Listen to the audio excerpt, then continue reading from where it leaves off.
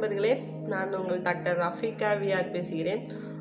இந்த வீடியோவில் நான் எதை பற்றி பேச போகிறேன் அப்படின்னு பார்த்துக்கிட்டிங்கன்னா நம்ம ரத்தத்தில் உள்ள ஹீமோக்ளோபின் லெவலை எப்படி இன்க்ரீஸ் பண்ணலாம்? அந் நம்ம ஹீமோக்ளோபின் லெவலை இன்க்ரீஸ் பண்ணுறதுக்காக நம்ம சாப்பிட வேண்டிய உணவு வகைகள். இந்த டயட் பிளானில் தான் நான் வந்து சொல்ல போகிறேன் நிறையா பேருக்கு இப்போ இருக்கக்கூடிய பிரச்சனைகள் வந்து ஹீமோக்ளோபின் லெவல் வந்து கம்மியாகுது. அதாவது ஹச்பி லெவல் அப்படின்னு சொல்லுவோம். ஸோ இந்த ஹச்பி லெவல் கம்மியாக போகிறதுனால அவங்களுக்கு வந்து கை கால்லாம் மரத்து போகிற மாதிரி கொஞ்சம் லைட்டாக டயர்டாக இருக்க மாதிரி அனிமியா இதெல்லாம் வருது. ஸோ அவங்களுக்கு வந்து ஹச்பி லெவலில் எப்படி இம்ப்ரூவ் பண்ணலாம் அப்படிங்கிறத பற்றி இந்த வீடியோவில் நம்ம பார்ப்போம். இப்போ வந்து ஒரு ஹச்பி அப்படிங்கிறதுக்கு முக்கியமான தேவையில் ஒன்று அயன் ஓகேங்களா அதாவது இரும்புச்சத்து ஸோ இரும்புச்சத்து அதிகம் உள்ள பொருட்கள் போலிக் ஆசிட் அதிகம் உள்ள பொருட்கள் இந்த மாதிரியான விட்டமின்ஸ் மினரல்ஸ் இந்த மாதிரியான பொருட்கள் எல்லாம் நீங்கள் அதிகம் உட்கொள்ளும் போது உங்களுடைய ஹச்பி லெவலை வந்து நீங்கள் இன்க்ரீஸ் பண்ணிக்கலாம். ஓகேங்களா ஃபஸ்ட்டு நீங்கள் வந்து இப்போ ஒரு வெஜ் இப்போ நான்வெஜ் அப்படி பிரிச்சுக்கிட்டிங்கன்னா இப்போ வெஜ் அப்படின்னு எடுத்துக்கிட்டிங்கன்னா நீங்கள் வெஜிடபிள்ஸ் ஃப்ரூட்ஸ் நட்ஸ் இந்த மாதிரி வரும். அதே நான்வெஜ்னு எடுத்துக்கிட்டிங்கன்னா எக் ஃபிஷ் சிக்கன் மட்டன் இந்த மாதிரி வகைகளில் போயிடும். ஸோ இப்போ நீங்கள் எப்படி சாப்பிட்ணும் என்ன மாதிரி சாப்பிடணும் அப்படிங்கிறத பற்றி பார்ப்போம். அதே மாதிரி நீங்கள் ஹச்பி லெவலை இம்ப்ரூவ் பண்ண என்னோட ஒரு ஸ்பெஷல் எங்கள் பாட்டி சொல்லி கொடுத்த ஒரு வைத்தியத்தை உங்களுக்கு சொல்லிடுறேன். ஓகேங்களா?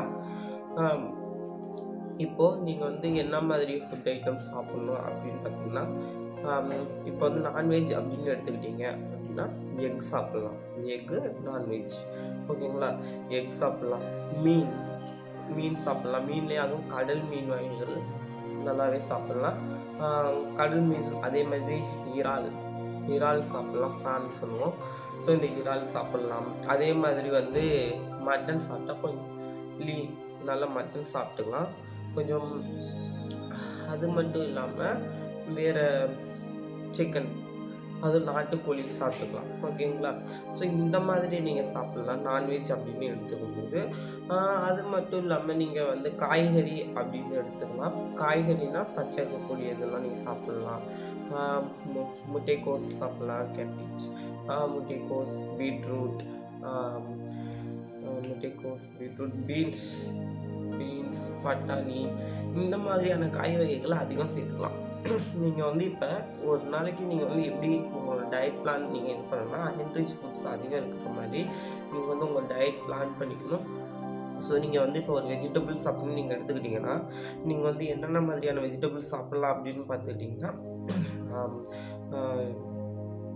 sweet potatoes carrot beetroot mango அது மட்டும் இல்லாமல் என்னென்னா முட்டைக்கோஸ் இது மட்டும் இல்லாமல் இன்னும் நீங்கள் உங்களோட பச்சை காய்கறிகள் கீரைகள் இதெல்லாம் சாப்பிட்லாம். அதே மாதிரி ஃப்ரூட்ஸ் அப்படின்னு எடுத்துக்கிட்டிங்கன்னா சிட்ரஸ் ஃப்ரூட்ஸ் இந்த சிட்ரஸ் ஃப்ரூட்ஸ் அப்படின்னாலே உங்களுக்கு தெரியும். ஆரஞ்சு எலுமிச்சை இந்த மாதிரி உள்ளது. அதே மாதிரி ஃப்ரூட்டில் வந்து தர்பூசணி சாப்பிட்லாம் மாதுளை சாப்பிட்லாம் கொய்யாப்பழம். கொய்யாப்பழங்கிறது ரொம்ப அருமையான ஒரு கனி. அதில் வந்து கொழுப்புச்சத்தோ புழுக்குச்சத்தோ அதிகம் இருக்கும். இது வந்து ரொம்ப ஒரு நன்மை பல பய பயக்கக்கூடிய கனி அதே மாதிரி உலர்ந்த திராட்சை. ஸோ இதெல்லாம் நீங்கள் சாப்பிட்லாம் ஓகேங்களா ஸோ அதே போல் கடலை வேர்க்கடலை சாப்பிட்லாம். வேர்க்கடலை பர்பி சொல்லுவாங்கள்ல கடலை மிட்டாய்.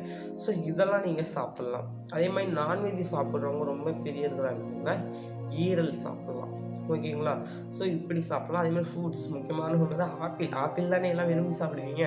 ஸோ ஆப்பிள் நீங்கள் சாப்பிட்டுக்கலாம். இதெல்லாம் உங்களுக்கு வந்து ஹையனா இம்ப்ரூவ் பண்ண ரொம்ப ஹெல்ப்ஃபுல்லாக இருக்கும்.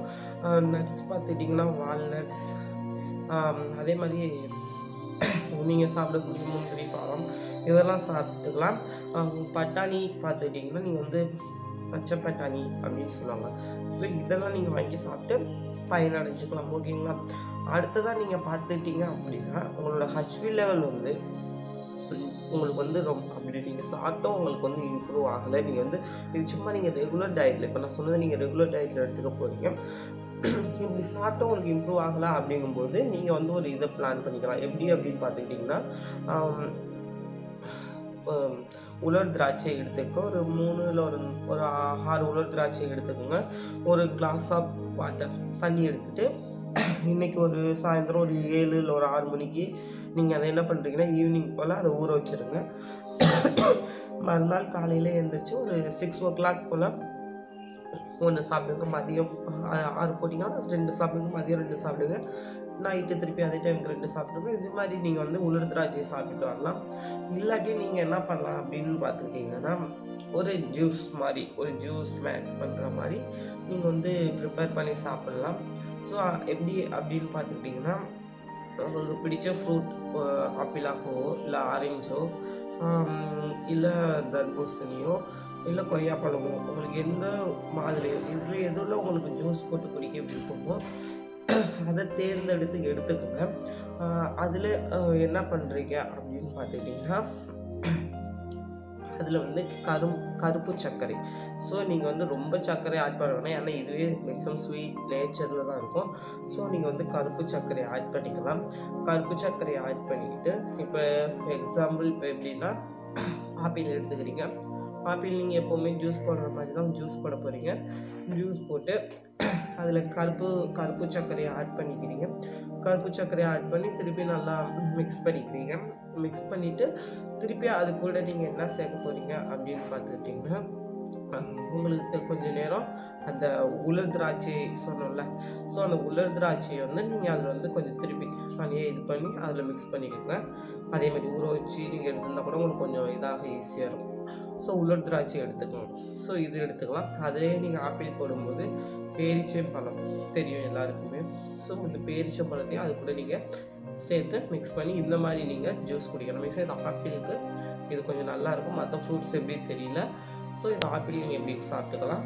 ஸோ அது மட்டும் இல்லாமல் நீங்கள் பேரிச்சம்பழம் தாராளமாகவே சாப்பிடலாம். இதெல்லாம் உங்களோட ஸ்பீட் லெவல் இம்ப்ரூவ் பண்ண ரொம்ப ஹெல்ப்ஃபுல்லாக இருக்கும். இன்னும் நிறையா சொல்லலாம்.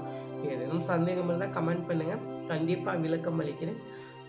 வீடியோ பிடிச்சிருந்தா வீடியோ லைக் பண்ணுங்கள் சேனல் பிடிச்சிருந்தா சேனலை சப்ஸ்கிரைப் பண்ணுங்கள் அண்ட் உங்கள் நண்பர்களுக்கும் ஷேர் பண்ணுங்கள் நன்றி.